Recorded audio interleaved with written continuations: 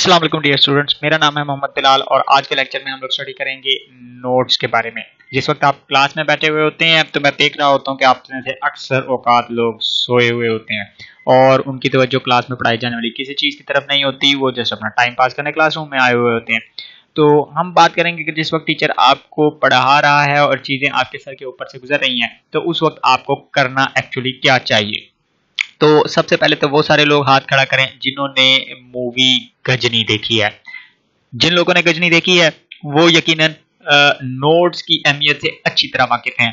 गजनी में Aamir Khan memory loss patient memory loss short term memory loss का एक patient था और वो जो अपनी शॉर्ट टर्म मेमोरी में रखी हुई चीज़ों को लॉन्ग टर्म मेमोरी में ट्रांसफ़र नहीं कर पाता। ये तो वैसे तकरीबन तमाम स्टूडेंट्स की कहानी है। लेकिन फ़िल्म में हम देखते हैं कि कैसे वो अपनी चीज़ों को, जिन चीज़ों को जो चीज़ें उसके लिए अहम हैं, उन चीज़ों को याद रखने के लिए वो क्या करता है? वो ये करता है कि वो एक एक चीज़ को नोट करता जाता है। उसने अपने जिसम के ऊपर चीज़ें लिखी हुई हैं जो सबसे ज़्यादा अहम है और इसके अलावा उसने अपने कमरे में मुख्तलिफ़ जगहों पर चीज़ें नोट करके लिखी हुई होती हैं, चीज़ों को आपस में कनेक्ट किया हुआ होता है कि कौन सी चीज़ किस चीज़ के साथ लिंक्ड है रियल लाइफ में और उस इस तरह वो अपने टारगेट को अचीव कर लेता है जो कि एक्चुअली फिजिकली उसकी ब्रेन के लिए इम्पॉसिबल था। तो अब हम देखें, इससे हमें पता लगता है कि नोट्स कितने ज़्यादा इंपॉर्टेंट हैं। बेसिकली जब पढ़ाई की बात आती है या मेमोरीज को स्टोर करने की बात आती है तो आपके ब्रेन के लिए आउटपुट उतनी ही इंपॉर्टेंट है जितनी इनपुट इंपॉर्टेंट है। इस चीज़ का क्या मतलब है? इस चीज़ का मतलब ये है कि जो चीज़ें आप रट्टा मार मार के अपने दिमाग में इंस्टॉल कर रहे होते हैं, उनको जब तक दिमाग से वापस बाहर नहीं निकालेंगे, तब तक आपकी वो मेमोरीज पक्की नहीं होती। आप बाहर कैसे निकालेंगे? या तो आप उनको लिख कर निकाल सकते हैं या किसी दूसरे लोगों को आ, किसी दोस्त को किसी छोटे स्टूडेंट को एक्सप्लेन करके ये चीज़ अपने ब्रेन में मेमोरी पक्की कर सकते हैं। जिस वक्त आप क्लास में बैठे हुए हैं तो उस वक्त आपको बहुत सारी इन्फॉर्मेशन कॉन्स्टेंटली मिल रही होती है और उसमें से अक्सर इन्फॉर्मेशन जो है वो आपके सर के सीधे ऊपर से गुजर जाती है और आपको कुछ पता नहीं लगता कि क्या हो रहा है। तो जिस वक्त आपको वो चीज़ पढ़ाई जाए तो बेहतर यह है कि उस वक्त बातें लिख ली जाएँ। और जो चीज़ें आपने अपने अल्फाज में लिखी होंगी, वो कल को आपको याद करने में ज़्यादा हेल्पफुल साबित होंगी। अगर आपके पास कंप्यूटर है तो फिर देख मतलब अगर आपको क्लासरूम में कंप्यूटर ले जाने की इजाज़त है या मोबाइल फ़ोन ले जाने की इजाज़त है तो अक्सर अवकाश स्टूडेंट्स क्या करते हैं कि स्टूडेंट्स कोशिश करते हैं कि जी उसकी जो बोर्ड के ऊपर टीचर ने लिखा हुआ है, उसकी या तो तस्वीर खींच ली जाए या चीज़ों को टाइप करके स्टोर कर लिया जाए। तो रिसर्च ये शो करती है कि जो स्टूडेंट्स तस्वीर खींच रहे होते हैं या जो स्टूडेंट्स टाइप कर रहे होते हैं, वो एक्चुअली ज़्यादा इन्फॉर्मेशन स्टोर तो कर लेते हैं, बनस्बत उन लोगों के जो हाथ से लिख रहे हों। लेकिन कल को जब एग्ज़ाम होता है तो उस वक्त वो, जिन लोगों ने हाथ से चीज़ नोट की थी अपनी कॉपी के ऊपर, अपने रजिस्टर के ऊपर उन लोगों को चीज़ें रिकॉल करना ज़्यादा आसान लगता है बनस्बत उन लोगों के जिन्होंने तस्वीर खींची थी या जिन्होंने टाइप करके सारा लेक्चर रिकॉर्ड कर लिया था। ठीक है? तो एक्चुअली इसकी वजह यह है इसकी वजह यह है कि ब्रेन को चीज़ों को प्रोसेस करने के लिए टाइम चाहिए होता है और जिस वक्त आप चीज़ों को हाथ से लिख रहे होते हैं तो बेसिकली स्लोली उन चीज़ों को ब्रेन प्रोसेस भी कर रहा होता है और उनको लॉन्ग टर्म मेमोरी में स्टोर भी कर रहा होता है। बहरहाल, अगर आपने कंप्यूटर पे ही काम करना है तो फिर वहाँ पे भी नोट्स लिखने के लिए बहुत सारी चीज़ें अवेलेबल हैं। बहुत सारी एप्स अवेलेबल हैं फॉर एग्जांपल एवर नोट है वन नोट है गूगल कीप है, और इस तरह के बहुत सारे एप्लीकेशन अवेलेबल हैं, जिनकी मदद से आप नोट्स तैयार कर सकते हैं। लेकिन जिस वक्त आप नोट्स कंप्यूटर पे अगर टाइप कर रहे हैं तो इस चीज़ का ध्यान रखें कि जिस पढ़ाई के वक्त सारी इरेलीवेंट चीज़ें बंद होनी चाहिए। कोई डिस्ट्रैक्शन फेसबुक के नोटिफिकेशन यूट्यूब के नोटिफिकेशन नहीं होने चाहिए। जिस वक्त आप क्लासरूम में आते हैं और आपने अगर पेपर और पेन से लिखना है तो कोशिश ये करें इस चीज़ का ख़ास ख्याल रखें कि क्लास में आते वक्त आपके पास एक रजिस्टर जिसमें इनफ स्पेस मौजूद हो, जिसके ऊपर आप लिख सकते हैं, वो अवेलेबल हो। फिर आपके पास जो आपका फेवरेट पेन है जो बहुत अच्छा लिखता है, वो वाला पेन होना चाहिए। कोई ऐसा पेन नहीं होना चाहिए जिसमें इंक नहीं है, या जिसकी निब टूटी हुई है, या कोई और इस तरह का मसला है, जो आपको लिखने के दौरान इरीटेट कर सकता है। फिर बहुत सारे स्टूडेंट्स जो हैं, वो जो कुछ इरेलीवेंट बातें भी हो रही होती हैं, वो सारा कुछ लिख रहे होते हैं तो आपने लिखते वक्त इस चीज़ का ख्याल रखना है कि सिर्फ़ रेलिवेंट स्टाफ जो काम की बातें हैं, सिर्फ़ उन चीज़ों को नोट डाउन करना है और वो चीज़ें लिखनी हैं जो एग्ज़ाम्स में आपसे पूछी जा सकती हैं। गैर ज़रूरी चीज़ों को या मिसाल के तौर पे ऐसी चीज़ें जो आप पिछली क्लासेस में पढ़ आए हैं, उनको दोबारा से नोट डाउन करने का कोई खास फ़ायदा नहीं होता। ठीक है? अब आपको कैसे कैसे पता लगेगा जब आप नई क्लास में आए हैं? तो आप कैसे जान सकते हैं कि जी कौन सी चीज़ क्लास में पूछी पेपर में पूछी जा सकती है और कौन सी नहीं पूछी जा सकती? तो ये आपको पता लगेगा जब आप क्लास शुरू होने से पहले सिलेबस पढ़ लेंगे। जब आपका नया स्टडी सेशन शुरू हुआ है तो उस वक्त कंप्लीट सिलेबस को एक दफ़ा लाजमी तौर पे देखें कि आपके सिलेबस में या आपके कोर्स में कौन कौन से चैप्टर्स शामिल हैं और उन चैप्टर्स में कौन कौन से मेजर टॉपिक्स हैं।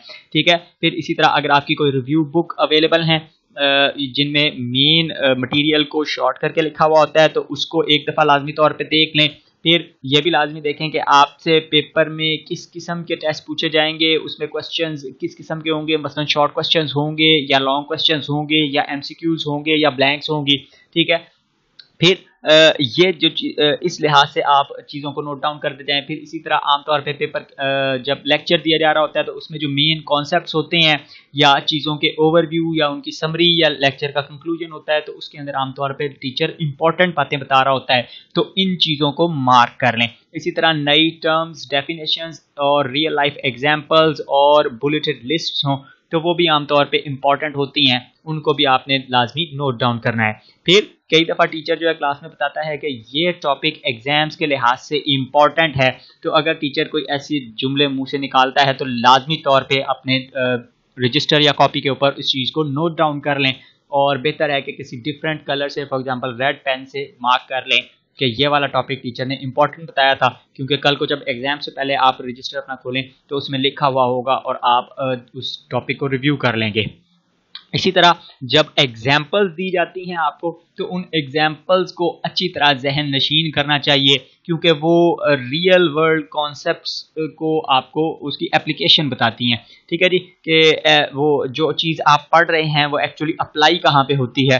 ठीक है? तो ये कल को आपको प्रॉब्लम सॉल्विंग में या सिचुएशंस के एनालिसिस में बहुत ज़्यादा हेल्पफुल साबित होगी। इस वजह से एग्जांपल्स के ऊपर ख़ास तवज्जो देनी चाहिए। मिसाल के तौर पे यहाँ पे मैंने एक तस्वीर दिखाई हुई है।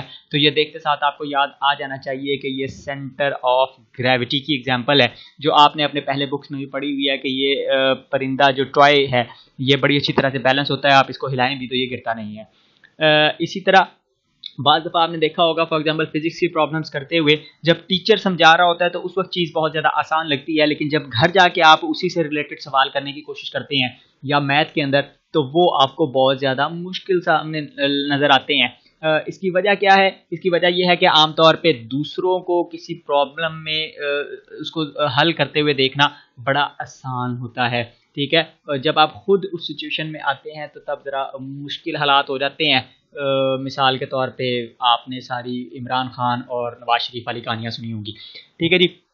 तो इस मसले का हल क्या है? इस मसले का हल ये है कि जिस वक्त आप को पढ़ाया जा रहा है, उस वक्त जितनी डिटेल में आपने नोट्स लिखे होंगे, जितने इंपॉर्टेंट पॉइंट्स और हिंट्स टीचर बता रहा है, वो चीज़ें अगर आप नोट कर रहे होंगे तो फिर कल को आप जब होमवर्क करने बैठेंगे तो उनको पढ़ के आप आसानी के साथ स्टेप बाय स्टेप उसको कवर कर सकेंगे।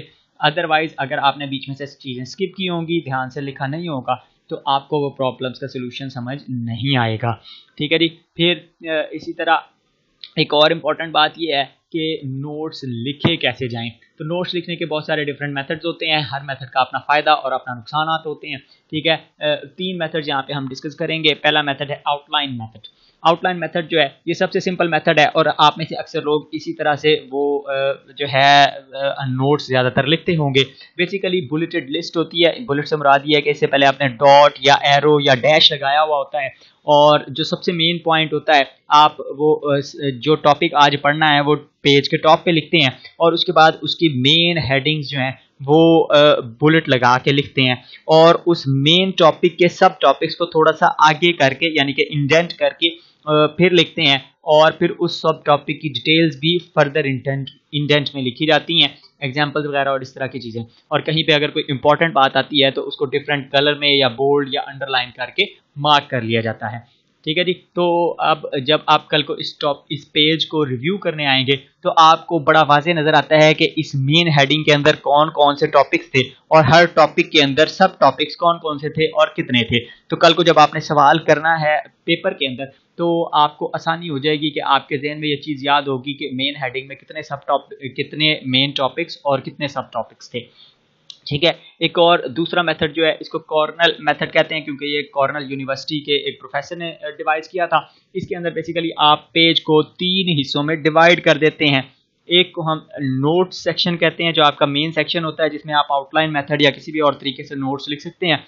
एक और दूसरा सेक्शन जो है, वो आपका क्यूज सेक्शन होता है, या इसको हम हिंट सेक्शन भी कह सकते हैं, जहाँ पे इस टॉपिक में अंदर डिस्कस होने वाले मेन आइडियाज़ या कोई ऐसी बात जो आपको समझ नहीं आई है, और आप समझते हैं कि आप इसको बाद में जाके बुक से चेक करना है, या कोई ऐसी चीज़ जो आपको रिवाइज करने की ज़रूरत है तो या आपके जहन में कोई सवाल उठता है तो उन चीज़ों को आप यहाँ पे, जो आप समझते हैं कि इंपॉर्टेंट है तो वो बातें यहाँ पे लिखते जाएँ। फिर जब लेक्चर ख़त्म हो जाए तो नीचे समरी का सेक्शन है, जिसमें आपने पूरे टॉपिक की एक, दो लाइंस के अंदर उसके मेन आइडियाज़ और कॉन्सेप्ट को लिखना है कि इस लेक्चर में एक्चुअली आपने पढ़ा क्या है।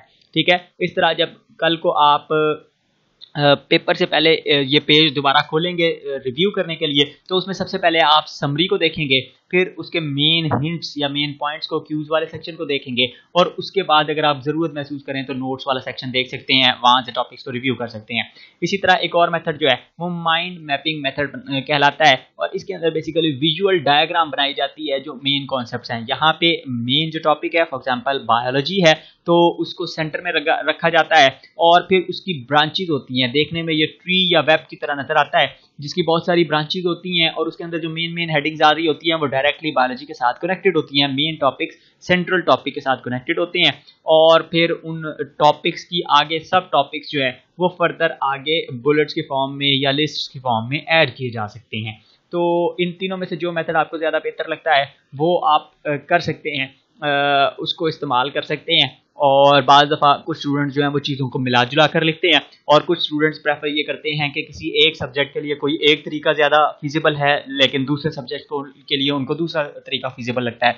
तो जो तरीका आपको फिजिबल लगता है उसको इस्तेमाल करें और उसको आप आ, लेकिन यह है कि नोट्स बड़े ध्यान से लिखें और की पॉइंट्स को लाजमी तौर पे मार्क करते जाएँ, ताकि कल को रिव्यू करते हुए एग्ज़ाम से पहले आपको पढ़ने के लिए कोई चीज़ अवेलेबल हो और वो आपके अपने हाथ से लिखी हुई होगी तो आपके लिए बहुत ज़्यादा आसानी होगी।